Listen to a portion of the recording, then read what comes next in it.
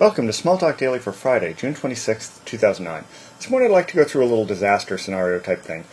Let's say that I've been working on my Facebook Connect in this image and I hadn't been saving it in store, I hadn't been filing out, I hadn't been saving parcels, I'd just been cheerfully working in this image for a few weeks and then disaster happened. Either the image became corrupt and wouldn't start, which sometimes happens to people, especially if they're working with CConnect type stuff and they put their image in a bad state, or I accidentally deleted the file. You know, it's not like all of us haven't deleted a file we needed at some point.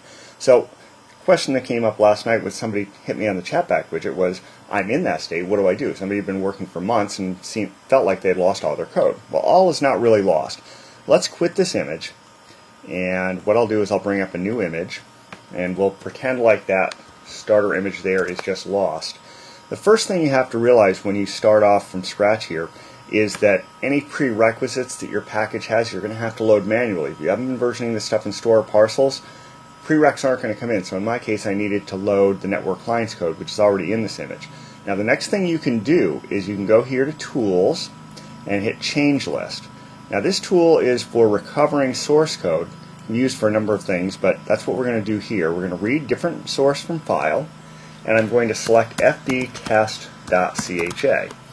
So if I scroll down to look for that, you'll find down in the Fs I have fbtest.cha.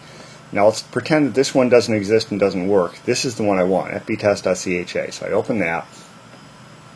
It's going to bring all these changes in. Now this stuff where I loaded the parcel network clients, I'm going to ignore that stuff and scroll down to where I first recognize my code.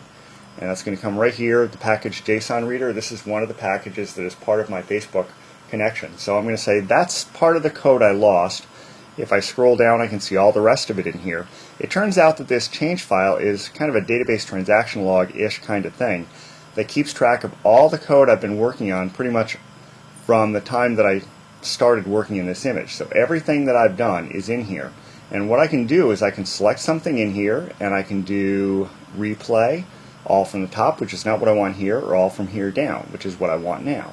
So I select that and it's going to start replaying the changes and you'll see this little dialog here while it's working and you'll see everything flying past me here. It's physically going through the file replaying this all as if I were typing it again. So let's just pause the audio and video here while that happens. And you can see it's just about finished now coming down to the end of this. And there it goes, it's just finished now. Everything's been loaded back in. Let's close this tool. And now if I open up a browser, you should see my code again. I scroll down here, I should see Facebook domain, Facebook Connect, and then I go down here, I see my JSON reader. All that code that was in theory lost is now found again. Now at this point, you probably don't want to just save the image and move along. I mean, saving the image is a good idea, but you should select one of your packages here, and at the very least, do a file out of the package. And that's probably the least you should do. The next thing you should do is Make sure that you have a store repository configured. Push your code into the store repository.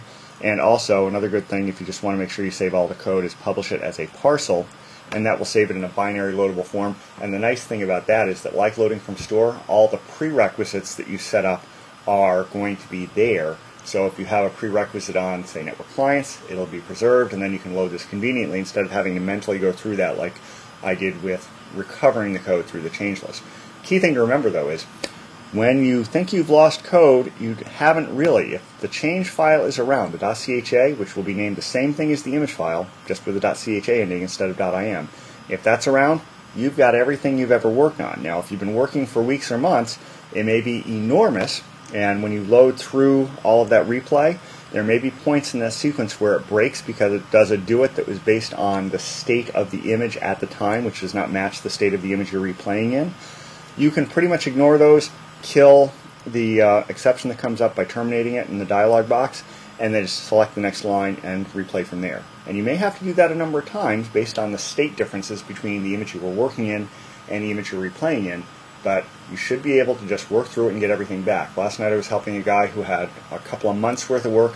In less than 15 minutes he had all of it back. So, that's about it for today. Until next time, have fun with Smalltalk.